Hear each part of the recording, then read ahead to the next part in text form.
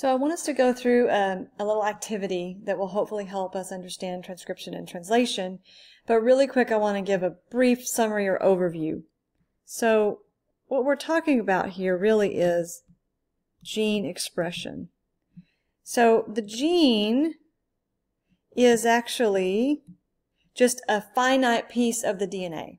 So the DNA is in multiple chromosomes, okay, or for a single-celled organism, there may just be one circular chromosome, but chromosomes are made up of DNA, and genes are made up of DNA, but a gene is sort of a, a small piece, right, of all of the chromosomes there. So chromosomes have many genes on them, and we would call this the genotype. Like these are the instructions for the cell.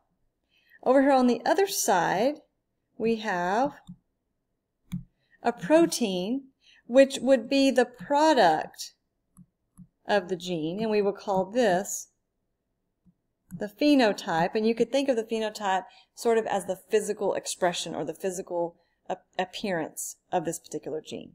So if the gene is like the is like instructions like blueprints for a house, then the protein product would actually be the completed house. Now, um, for, for eukaryotic cells, they have a nucleus, so the DNA, the chromosomes, is going to be housed in the nucleus.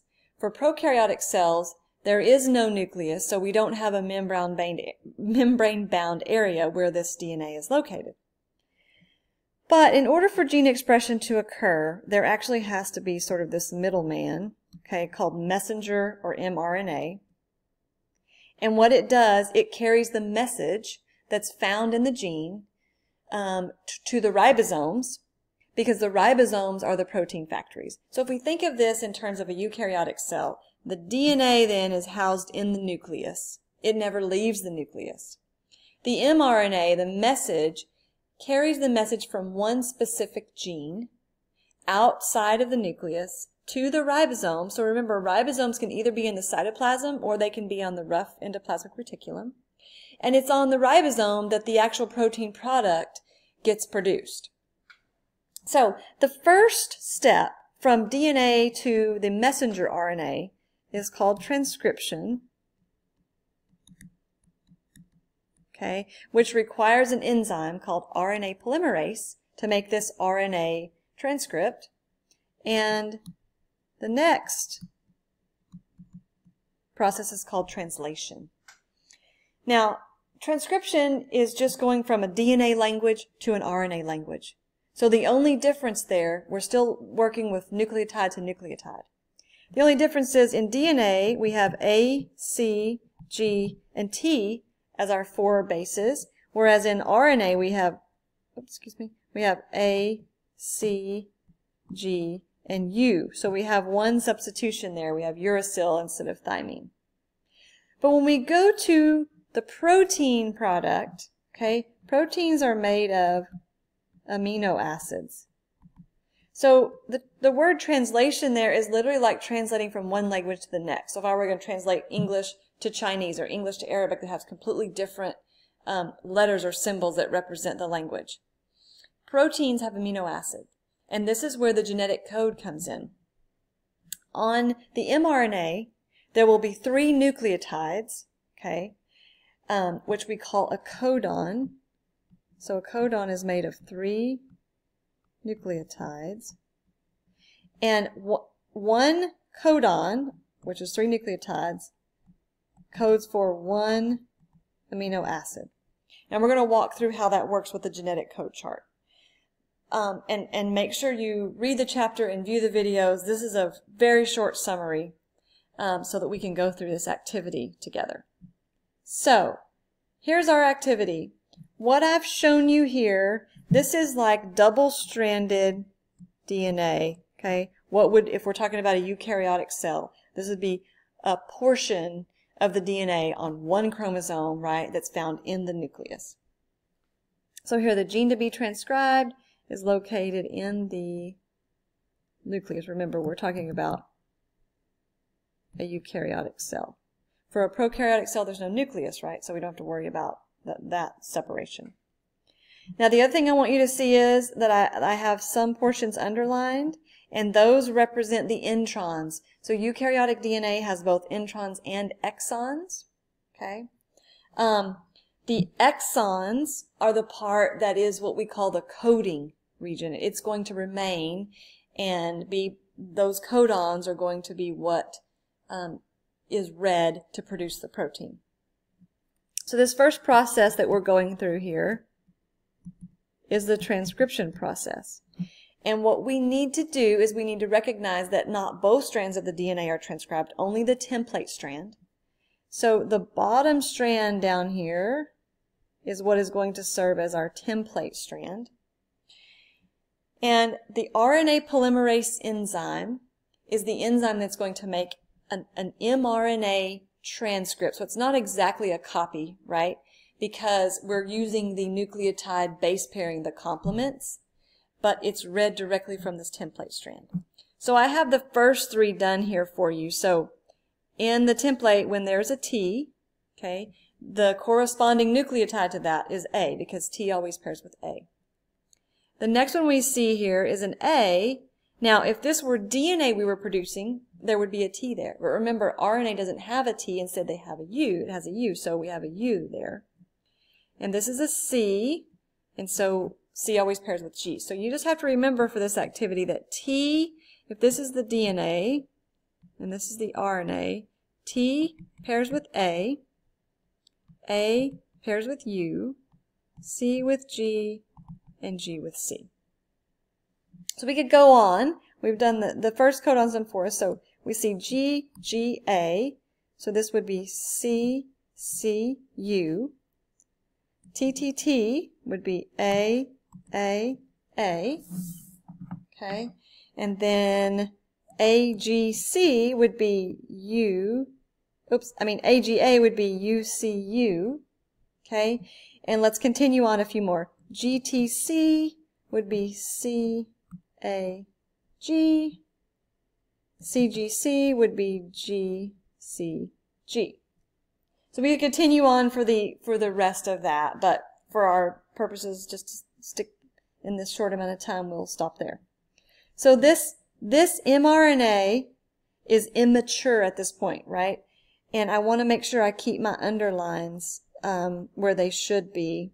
So the underline should be here, right? Because those are my introns.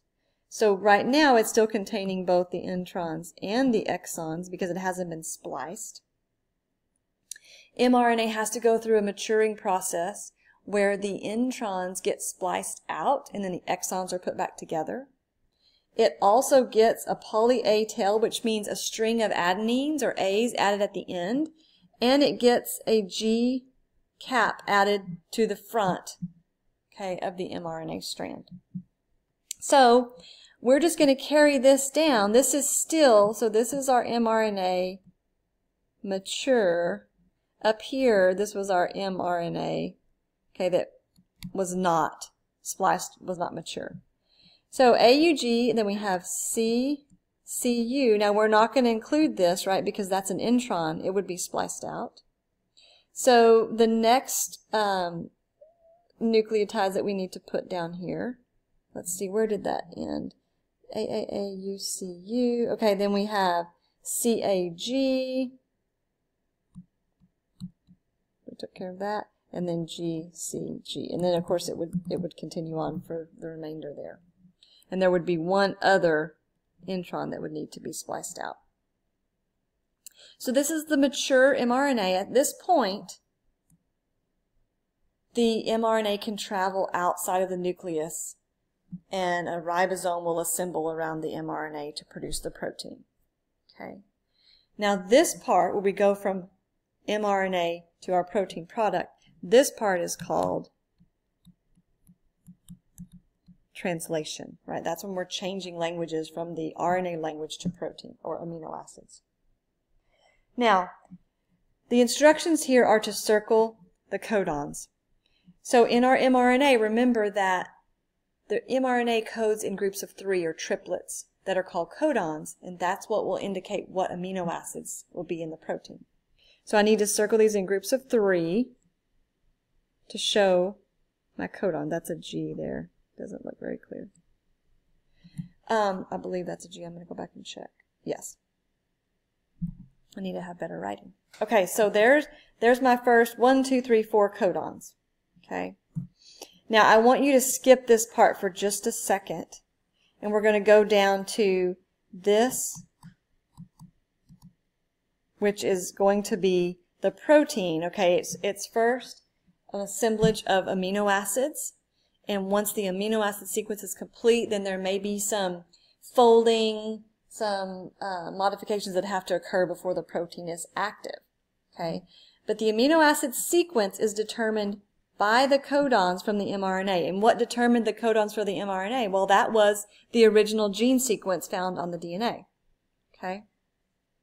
Now, this amino acid sequence, it's called the primary structure of a protein. If you'll recall, proteins have multiple levels of structure because their three-dimensional shape is very important to their functionality. Now, what we're going to do is we're going to read these codon by codon. So this first codon, AUG, has been done for us, methionine. The second codon is CCU. We need to find the genetic code chart in order to look up what amino acid that would be. So first letter C, second letter C, third letter U, okay, which means the amino acid would be proline. So we can put proline there. Let's do the next one. Okay. CAG. So first letter C, second letter A, third letter G. Okay. Glutamine.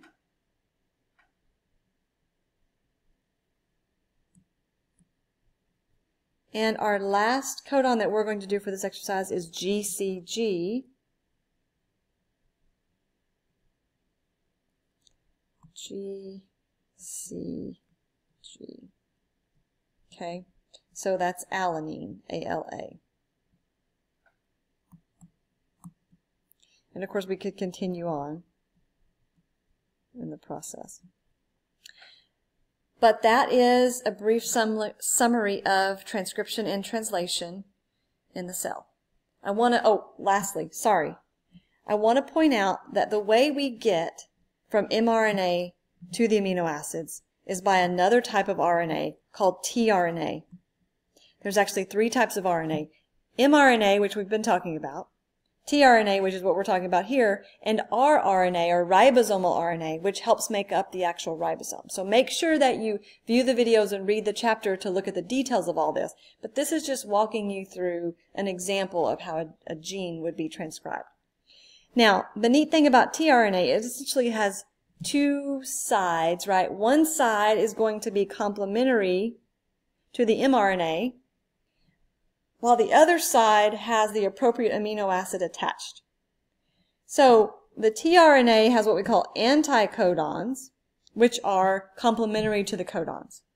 So we see here AUG, if we did those letter for letter, we would see that UAC is the complement. So the complement to C would be G, complement here would be G. Okay, that would be the next, the anticodon.